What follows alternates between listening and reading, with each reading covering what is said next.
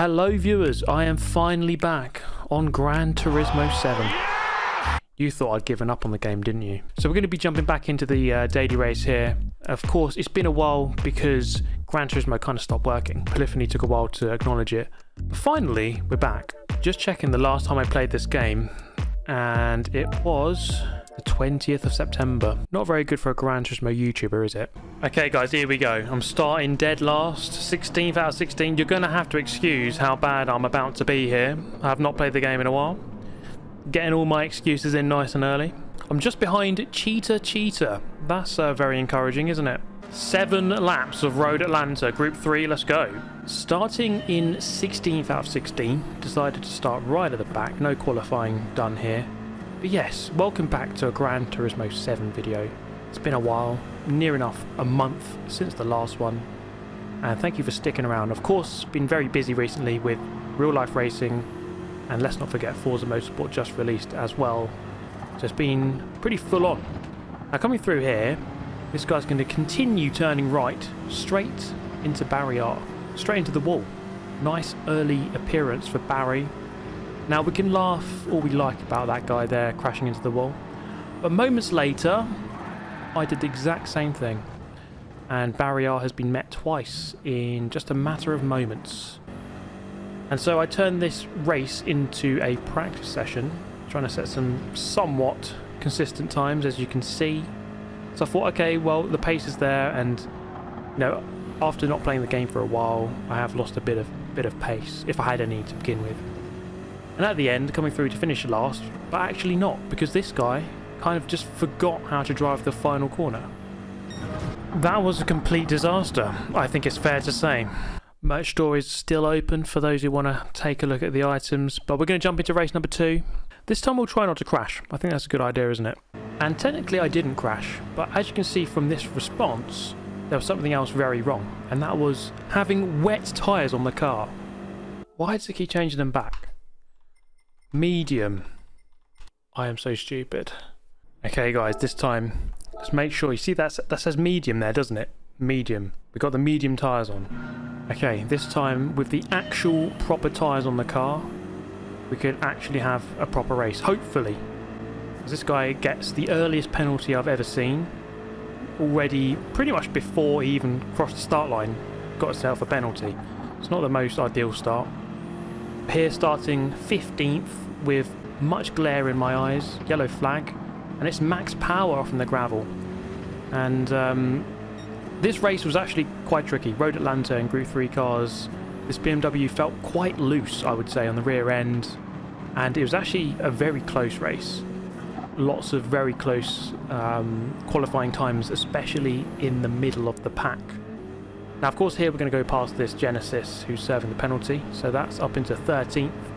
Two positions gained on this first lap. That's not too bad. This is the beginning of lap number two. There's a Mercedes AMG, very weirdly, on the grass. And as we come through the exit of turn one, I am just going to lift off a bit, try to avoid him. Didn't quite manage it. I think he dropped a couple of positions there. Thankfully, didn't spin out. A little bit later on, this is still lap number two, up behind our fellow BMW user. And I think the Genesis was the main go-to car for this race, but there were actually quite a few different cars being being used. This was a BMW versus BMW battle down the hill into the final chicane, and I was going to be late on the brakes up the inside. And that's 11th place. Incredible scenes here. The crowd goes absolutely wild. I think there was a bit of contact there with the car behind. Thankfully, heart in mouth moment tried to recovering that, tried to recover that. Up the inside of the Porsche on the following lap. So that's 10th position. We've gained 5 so far in this one. But it was about to come crashing down here. As uh, took a bit too much curb. Rear end was quite light on this car and Barrier has been met once again. So this really was not going to plan, I think it's fair to say. And you can probably see that my skill level was very low. Skill issue, you could say. Now, max power, they're going very wide, and at least we had a bit of a battle here to not finish in dead last. So, okay, there's still something to fight for, I suppose, and coming down towards the chicane, we had a yellow flag, which I completely ignored. It says overtaking is prohibited. I mean, does anyone pay attention to that on this game? Probably not. And I didn't there. So up in the 15th, looking perhaps the 13th here on the on the final lap, lap 7 of 7. Max Power trying to come back at me. Doesn't quite make it happen as we come through the chicane. Looks like it's going to be a 14th place, but, well, yes, but technically no. I spin, but also Max Power spins, and so I recover 14th. What a weird finish to the race that one was. Wow. Why am I so bad? I have like zero confidence with the rear end of that car. It just wants to slide so much, and I don't quite have the feel back for this game yet. With that in mind, I'm going to skip the next race and I should try and qualify. Because this is normally what makes me a bit more consistent. And so setting a first lap there for an 18.5. Before going back to my customary ways of spinning, turning left into a right-hander, and then, you know, making lots of mistakes. Let me tell you, this was a painful little session. But eventually I managed to actually learn how to drive and do some proper turns and all that stuff. And this was my best lap. Uh, so by this point to an 18-0, and Road Atlanta is really about getting in a flow and carrying speed through corners. Especially through this sequence and then this corner it's all about getting on the grass. The caretaker of Road Atlanta hates hates all of us for driving over the grass. But it's got to be done if you want the lap time. And you can see already ahead of the Ghost. The Ghost starting 0.3 seconds in front. So this should hopefully be a sizable improvement. This corner here is the bane of my life. I've never been able to really get that one dead right. Uh, taking it okay there. Just the final chicane left to go. Braking just before that first line. Getting over the grass on the inside if we can. Then up into third gear for stability on the exit of the chicane. We've stayed ahead of the Ghost, so it should be an improvement by a couple of tenths. And indeed it was, a 117.7 on the line. Okay guys, ninth on the grid. Hopefully this time I can finish without crashing. Imagine that. That'd be that'd be pretty good, wouldn't it? Let's try and let's try and do that. So yeah, main objective for this one is just to try and finish a race with no incidents and that's proving to be impossible at the moment. So ninth on the grid, a little bit further forwards. As I kind of touched upon earlier, it was very competitive in the mid-grid here. So if I'd improved my qualifying time by two tenths, so let's say a 17.5, a low 17.5, I would have been about fourth or third on the grid. Such was how close it was here in the mid-pack. Nice and competitive, so it's always good to come back to Gran Turismo and have the nice competitive races that you can have, especially in Group 3, probably the most competitive class in the game, I would say. And so, getting back into the swing of things, and it is going to be a big excuse, guys, but when you haven't been playing a game for that long, it is it takes a while to get back to exactly where you were before. And so, that's my main excuse, really. That's my main excuse. Now here, st staying in ninth, but as you can kind of gather from the cars in front, it's getting a little bit chaotic as I go a little bit too late on the brakes into the back of the Genesis, which is dressed as a Bentley. Before Sharky does a nice little 180. Quite a lot of spins, quite a lot of people crashing and spinning in this race. And most of the time it's me, but that time it wasn't. Now, crossing the line, McLaren in tow here. Into turn one, very fast right-hander, keeping that minimum speed up as high as possible and it's not easy to really overtake through this corner and it's amazing when they do the Petit Le Mans which they did very recently that they can race multi-class around this sort of track it's a short track and it's twisty as well apart from the long straight at the back end of the track but uh, it's kind of a miraculous race that they can run that thing now here things are about to get quite sour you could say. It's about to unravel as the infamous saying goes uh, the Shadow Realm may well be approached in the next couple of moments. Because here, there's a bit of argy-bargy going on, and we, we get side by side with this Frenchman, and we're getting into the slipstream with the cars in front, and before you know it, I'm turning right on a straight, and smashing into the wall once again for probably about the 852nd time in this video. And that's just really not ideal, is it? Quite suboptimal I think you could say. And unfortunately, that puts me right back into this pack. I've lost a good crucial couple of seconds. and many positions as well, down to 13th. What a disaster! I mean, this session was the disaster, uh, the session from hell, an absolute disaster. Looking up the inside of the Porsche, not quite close enough to get it on this occasion. At least there was something to fight for in this race. And um, just fighting to keep the car on the track is the first thing. And I suppose at least the crash, it wasn't necessarily self-inflicted. So there is that. I didn't spin off on my own. So I suppose we're improving slowly. It took someone else to spin me out for me to hit the wall, which is moving up in the world, I think. Now onto the back of the, the Greek driver here in the Porsche, we got a good run through turn 6 and 7, I think they are. I can't bother to count them.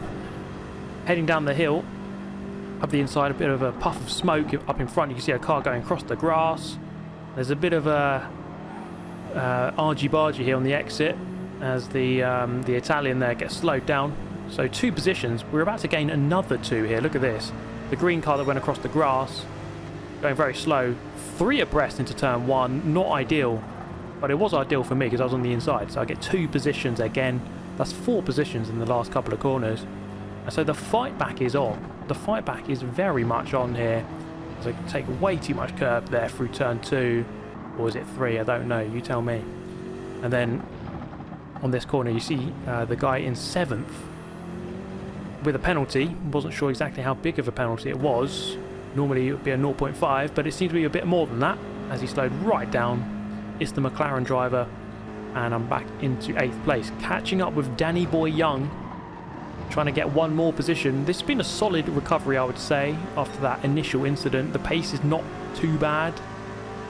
And um, this guy in the in the Honda NSX it seems that this guy was very quick through the corners, and you see here, gets a really good run. The BMW feels a little bit clunky through that turn, and that gap opens up.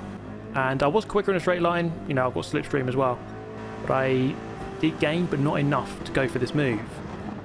So having to settle in and, and preserve 8th place for now, with one lap remaining in the race. And by the end, you see I wasn't really close enough on the following lap, so I couldn't really do anything hoping for one more position maybe from someone forgetting how to turn through this final corner.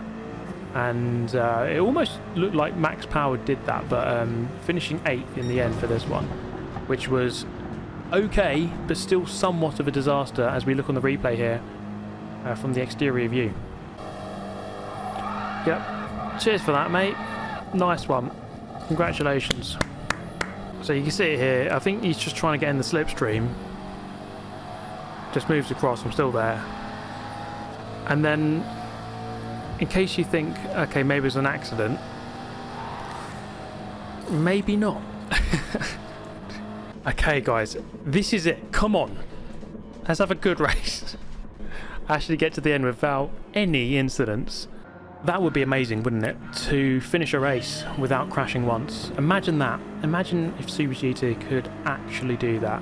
I'm sure if it happens, you'd tell your children and your grandchildren all about it the day that Super GT did it. So here we go once again, 11th on the grid this time, and it definitely looks like I need to improve my qualifying time. I only did about five or six laps, and so, you know, can definitely find more time. But so we're to have to make do with what we've got. 11th place on the grid. Let's try and make up some positions here. Through the S's, quite up close behind the Nissan GTR. Is anyone spinning off? Not quite yet. Max power up in front, slowing down with the penalty. So we should hopefully gain one more position here, or at least one position. And it really does get very close here. People trying to show respect, I think, as much as possible. But we're definitely on the lookout for our French friend, who had every intent to murder us. As uh, he's a couple of positions up the road, so Max Power there serving the penalty. So up into the top 10 for the first time in this one. The guy in 8th place there, a little bit slow, but you see here, the guy in 9th is just about to spin off to the left. But look ahead at our French friend who has a bit of an incident. And then the German is having none of it. He says goodbye and spins him off into the grass. And as you can see, I was absolutely mortified by that. I was so so heartstruck for the poor Frenchman who did nothing wrong, clearly. Now anyway, nice little dive bomb there up the inside into turn one, up into seventh position. We're moving up this grid quite nicely there. Started outside the top 10. This is lap number four then, trying to keep up with the battle for the top five. And uh, oh, uh, loose on the back end here of the BMW, going up the inside into turn six, and too late on the brakes. And uh, he's going to perform the old switcheroo and get the position back. But then disaster struck once again, and my career on Gran Turismo is clearly going down the drain, guys. I'm very, very sorry indeed. Maybe I should have given up on Gran Turismo 7.